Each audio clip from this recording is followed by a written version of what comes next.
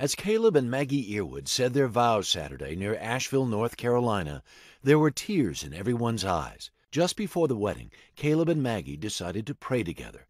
But because they wanted to uphold the tradition of the groom not seeing his bride before the ceremony, Caleb reached around a corner, his eyes averted. He took Maggie's hand, then he prayed. When I prayed, I just talked to God, so I was very thankful for the beautiful, sweet, intelligent woman that He's put in my life. We hope that He that He would shine His light through us, so that we can be an example to other marriages. Maggie wept. At first, I grabbed his hand and I felt him shaking, so I knew that he was nervous. And I just, when he started praying, I just, I started crying. The picture says so much about trust in God and faith in each other.